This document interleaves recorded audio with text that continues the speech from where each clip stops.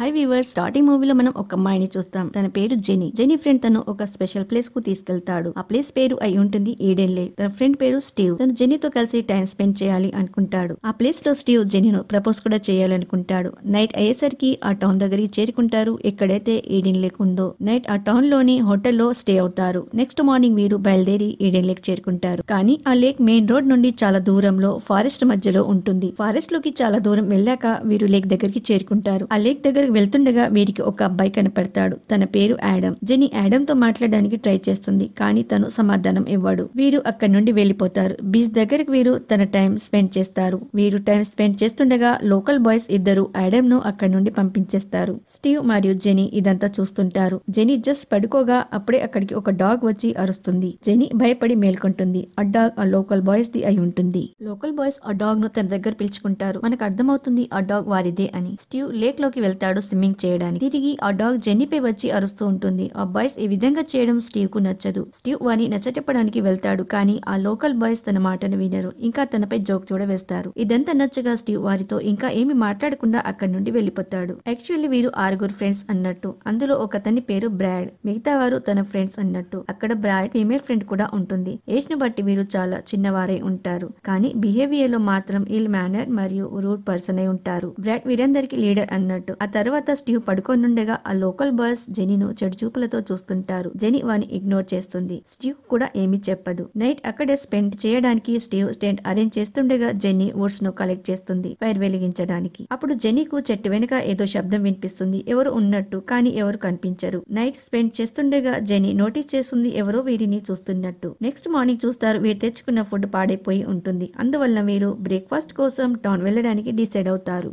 Car start చేస్తుండగా tyre puncture అవుతుంది. ఎందుకంటే ఎవరో గ్లాస్ బాటిల్ను టైర్ కింద ఉంచి ఉంటారు. అది ఎవరో కాదు లోకల్ బాయ్స్ చేసి ఉంటారు. స్టీవ్ టైర్ చేంజ్ చేస్తాడు. ఆ తర్వాత వీరు టౌన్కి వెళ్తారు. ఆ టౌన్లో లోకల్ బాయ్స్ కనబడతారు. స్టీవ్ వారిని వెంబడిస్తాడు కానీ వారందరూ ఎస్కేప్ అవుతారు. వీరిద్దరు ఒక షాప్లో బ్రేక్ఫాస్ట్ చేస్తారు. స్టీవ్ అక్కడున్న షాప్ ఓనర్తో ఆ లోకల్ బాయ్స్ గురించి అడుగుతాడు. వారు వెరీ ఇల్ మేనర్ అని అంటుండగా ఆ షాప్ ఓనర్ తిరిగి తనని కోప్పడుతూ మేమందరం ఇక్కడే కలిసి ఉంటాము అని అంటుంది. తిరిగి స్టీవ్ మరియు జెనీ వెళ్తుండగా ఇంటి ముందు ఆ పిల్లల సైకిల్స్ కనబడతాయి. వారిని పట్టడానికి స్టీవ్ ఆ ఇంట్లోకి వెళ్తాడు కానీ ఆ ఇంట్లో ఎవరు ఉండరు. స్టీవ్ అది చూసి అప్పర్ పోర్షన్కి వెళ్ళి దాక్కుంటాడు. ఆ ఇల్లు మరి ఎవరిదో కాదు బ్రాడ్ ది అయి ఉంటుంది. స్టీవ్ బ్రాడ్ రూమ్లోకి వెళ్తాడు. అక్కడ బ్రాడ్ ఫాదర్ స్టీవ్ను వెతకడానికి అక్కడికే వస్తాడు. ఇక్కడ స్టీవ్ ట్రాప్ అవుతాడు. వేరే ఆప్షన్ లేకపోవడం వల్ల స్టీవ్ విండో నుండి వేలాడుతూ కిందికి వస్తాడు. జెనీను త్వరగా కార్ మళ్ళించమంటాడు. వీరిద్దరు అక్కడి నుండి ఎస్కేప్ అయి తిరిగి లేక్ దగ్గరికి చేరుకుంటారు. తిరిగి వచ్చాక జెన్నీకు తన హ్యాండ్ బ్యాగ్ కనిపించదు. అందులో మొబైల్ ఫోన్స్ మరియు కార్ కీస్ కూడా ఉంటాయి. దీనివల్ల స్టీవ్ చాలా వరి అవుతాడు. తిరిగి తన కార్ దగ్గరికి వెళ్తాడు. అక్కడ తన కారు కూడా ఉండదు. కార్ కనిపించకపోవడం వల్ల వీరిద్దరు భయపడిపోతారు. అక్కడి నుండి బైవాక్ వెళ్తుంటారు. టౌన్ వైపు వెళ్తుండగా ఎవరో వారి కార్ తోని వారిని హిట్ చేయడానికి ట్రై చేస్తారు. కానీ వీరు తను రక్షించుకుంటారు. మనం చూస్తాం ఆ కార్లో లోకల్ బాయ్స్ ఉండడం. బ్రాడ్ కార్ను డ్రైవ్ చేస్తూ ఉంటాడు. కార్ను తీసుకుని వాళ్ళు అక్కడి నుండి వెళ్ళిపోతారు. మళ్ళీ వీరిద్దరూ నడుచుకుంటూ వెళ్తుంటారు. వెళ్తూ వెళ్తూ నైట్ అవుతుంది. స్టీవ్కు ఆ లోకల్ బాయ్స్ వాయిస్ వినిపిస్తుంది. ఆ వాయిస్ను ఫాలో అవుతూ వారి దగ్గరికి చేరుకుంటాడు. స్టీవ్ వారితో తన కార్ను ఇవ్వమని అడుగుతాడు. బ్రాడ్ అంటాడు మా దగ్గర లేదు నీ కార్ అని. స్టీవ్ అంటాడు మా మిగతా సామాన్లు అని ఇవ్వమని హ్యాండ్ బ్యాగ్ ఇవ్వమని అడుగుతాడు. బ్రాడ్ మళ్ళీ ఒకసారి అంటాడు అది కూడా మా దగ్గర లేదు అని. జెనీ నోటీస్ చేస్తుంది ఏమిటంటే ఆ లోకల్ బస్ ఇల్ మేనర్ గలవారని వారు ఏమివ్వరని. కాబట్టి జెనీ స్టీవ్ను తిరిగి వచ్చే మనం ఇక్కడ నుండి వెళ్ళిపోదాం అంటుంది. కానీ స్టీవ్ జెనీ మాట వినడు. అప్పుడే బ్రాడ్ ప్యాకెట్ నుండి స్టీవ్ ఫోన్ రింగ్ అవుతుంది. తన ఫోన్ రింగ్ విని ఫోన్ తీసుకోవడానికి స్టీవ్ ముందుకు వెళ్తాడు. కానీ బ్రాడ్ స్టీవ్ చేతిని గట్టిగా పట్టుకుంటాడు. బ్రాడ్ ఫ్రెండ్ నైఫ్ తీసి స్టీవ్ పై అటాక్ చేయడానికి ట్రై చేస్తుంటాడు. ఇంకా తన డాగ్ను కూడా స్టీవ్ పై వదులుతారు. ఈ గొడవలో ఆ నైఫ్ వారి డాగ్కు తగలడం వలన అది అదే స్పాట్లో డాగ్ చనిపోతుంది. వీరు చాలా ప్రాబ్లం లో పడిపోతారు కాబట్టి అక్కడి నుండి పరిగెడతారు. కార్ కీస్ తీసుకొని. లక్కీగా కార్ కూడా దొరుకుతుంది. కానీ లోకల్ బస్ వారిని వెంబడిస్తూ ఉంటారు. కార్ స్టార్ట్ చేసి వెళ్తుండగా లోకల్ బస్ వెంబడిస్తూ ఉండడం వల్ల తొందరపాటులో వారి కార్ కూడా ఒక ప్లేస్లో ట్రాప్ అవుతుంది. అప్పుడు ఆ పిల్లలందరూ అక్కడికి చేరి వారి కార్ పై కొడుతుంటారు. కానీ స్టీవ్ ఏదో ఒక విధంగా తన కారును అక్కడి నుండి మూవ్ చేసుకుంటూ తీసుకెళ్తాడు. ఫ్రంట్ స్క్రీన్ డ్యామేజ్ అవడం వల్ల స్టీవ్కు క్లియర్గా కనబడకుండా ఉంటుంది. కాబట్టి కార్ డైరెక్ట్ ఒక ట్రీ ను హిట్ చేసేస్తుంది. ఈ యాక్సిడెంట్ వలన జెనీకు ఏమవుతు కానీ స్టీవ్ అందులోనే చిక్కుకుంటాడు. లోకల్ బస్ ఇప్పటికీ కూడా వారిని వెంబడిస్తూనే ఉంటారు. కాబట్టి స్టీవ్ జెనీ జెనీను హెల్ప్ కోసం బయటకు పంపుతాడు. జెనీ బయటకు వెళ్తుండగా అక్కడికి లోకల్ బస్ వస్తారు. అది చూసి జెనీ దాక్కుంటుంది. అందువలన వారందరూ కార్ వైపు వెళ్తారు. మార్నింగ్ అవగానే జెనీ ఫస్ట్ కార్ దగ్గరికి వెళ్తుంది. అక్కడ స్టీవ్ ఉండడు. కానీ అక్కడ బ్లడ్ డ్రాప్స్ను చూస్తుంది. వాటిని ఫాలో అవుతూ వెళ్ళగా లోకల్ బస్ కనిపెడతారు. అక్కడ స్టీవ్ కూడా ఉంటాడు. తను చూస్తుంది. స్టీవ్ కండిషన్ బాగుండదు. తను కట్టుబడి ఉంటాడు లేజర్ వైర్తో అక్కడ బ్రాడ్ స్టీవ్ను బ్యాడ్లీ టార్చర్ చేస్తుంటాడు. తన గ్రూప్లోని ఒకతను బ్యాడ్ను ఆపడానికి ట్రై చేస్తుంటాడు. కానీ బ్రాడ్ తనను కూడా చంపేస్తాను అని వార్నింగ్ ఇస్తాడు. బ్రాడ్ తన ఫ్రెండ్కు ఒక నైఫ్ ఇస్తాడు. అంటాడు దీనిని స్టీవ్ బాడీపై స్టాప్ చేయమంటాడు. తను రక్షించడంలో అబ్బాయి స్టీవ్ పై స్టాప్ చేస్తాడు. ఈ విధంగా తన అందరి ఫ్రెండ్స్తో స్టీవ్ బాడీపై స్టాప్ చేయిస్తాడు. ఇదంతా బ్రాడ్. ఫీమేల్ ఫ్రెండ్ ఫోన్లో రికార్డ్ చేస్తూ ఉంటుంది. ఇది చూడటానికి చాలా బాధకరంగా ఉంటుంది. అయినా స్టీవ్ బాధను భరిస్తూ ఉంటాడు. దూరంగా నిలబడి జెనీ చూస్తూ ఉంటుంది. స్టీవ్ను రక్షించడానికి జెనీ తన మొబైల్ బ్లూటూత్ నుండి స్టీవ్ మొబైల్కు మొబైల్కు కనెక్ట్ చేస్తుంది. ఇలా చేసి సడన్గా జెనీ పోలీస్కు కాల్ కనెక్ట్ చేస్తుంది. ఈ విషయం గురించి తెలిసి బ్రాడ్ జెన్నీకు వెతకడం మొదలు పెడతాడు వీరందరూ అక్కడి నుండి వెళ్ళిపోతారు స్టీవ్ తనను రక్షించుకొని అక్కడి నుండి పారిపోతాడు. ఆ పిల్లలు జెనీను వెంబడిస్తూ ఉంటారు. జెనీ వారి నుండి తప్పించుకొని పారిపోతూ ఉంటుంది.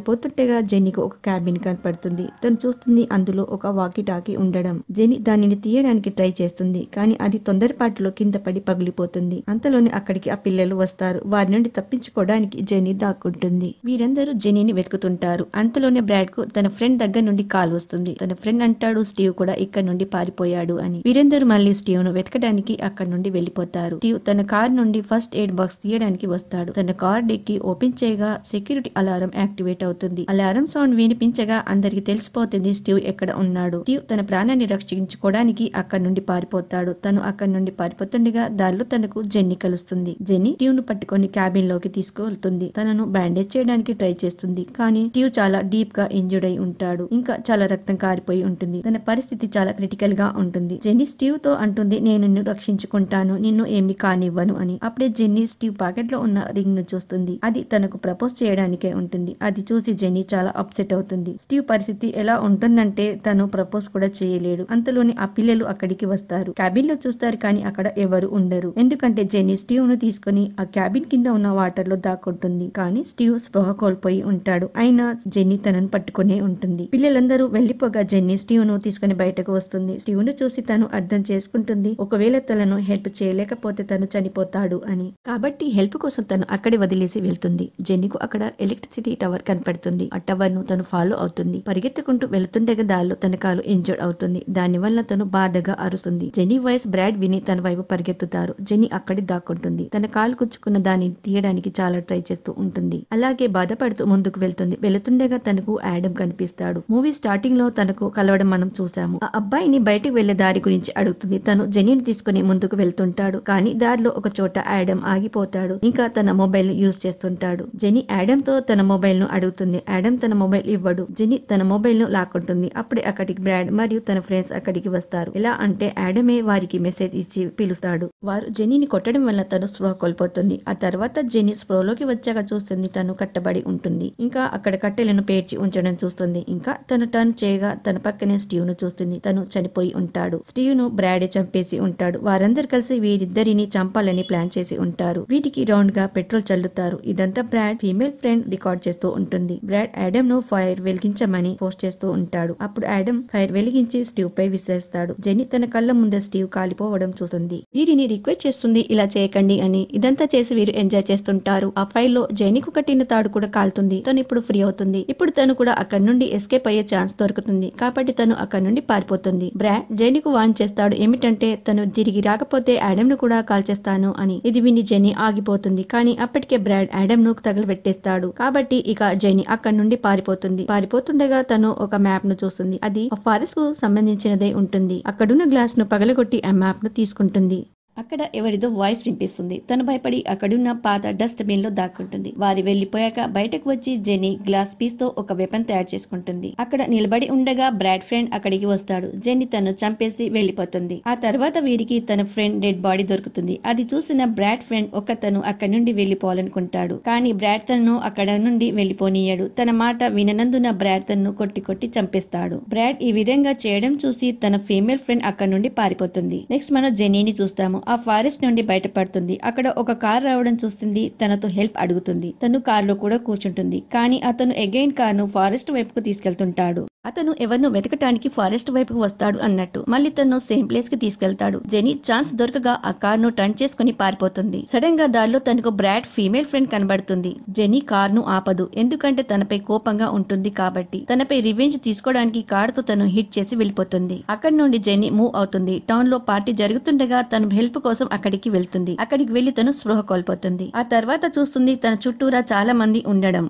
కానీ జెన్నీ ఇంకో ప్రాబ్లం లో చిక్కుకుంటుంది. అదేంటంటే ఇప్పుడు తను ఉన్నది బ్రాడ్ వాళ్ళ ఇంట్లోని. అప్పుడే బ్రాడ్ మదర్కు తన బ్రాడ్ నుండి కాల్ వస్తుంది. తను అంటాడు ఒక అమ్మాయి తన ఫ్రెండ్స్ను చంపేసింది అని ఇంకా తను పారిపోయిందని అంటాడు. జెనీ అంబులెన్స్ను పిలవండి అని అంటుంది. కానీ ఎవరు తన మాట వినరు. జెనీకు ఇక్కడ అర్థమవుతుంది ఏమిటంటే కాసేపట్లో వారందరూ తను ఏం చేయబోతున్నారో అని. కాబట్టి జెన్నీ వాష్రూమ్లోకి వెళ్ళి డోర్ లాక్ చేసుకుంటుంది. కానీ వారు డోర్ విరగొట్టి జెన్నీని పట్టుకుంటారు. జెన్నీ చూస్తుంది అక్కడ బ్రాడ్ కూడా ఉండడం. జెన్నీ వారికి మొత్తం విషయం ఎక్స్ప్లెయిన్ చేయడానికి ట్రై చేస్తూ ఉంటుంది. కానీ ఇంకా బ్రాడ్ గురించి కూడా ఎక్స్ప్లెయిన్ చేస్తుంది. కానీ ఎవరు తన మాటపై బిలీవ్ చేయరు. అందరూ కలిసి తనను వాష్రూమ్లోకి తీసుకెళ్తారు. జెని గట్టిగా షౌట్ చేస్తుంది. ఇంకా ఏడుస్తుంది కూడా. తన అర్పులు మాత్రం వినిపిస్తూ ఉంటాయి. కానీ బ్రాడ్ మొబైల్ నుండి మొత్తం డేటా డిలీట్ చేసేస్తాడు. ఇదంతా చేసి కూడా బ్రాడ్ సురక్షితంగానే ఉంటాడు. తన వల్లే ఇన్నోసెంట్ పీపుల్ చనిపోతారు కూడా. అయినా తను ఇంచు మాత్రమే కూడా సాడ్గా ఫీల్ అవడు ఈ విధంగా ఈ మూవీ సాడ్గా ఎండ్ అవుతుంది. That's all. ఒకవేళ వీడియో నచ్చితే సబ్స్క్రైబ్ చేయండి. ఇంకా లైక్ చేయడం మర్చిపోకండి.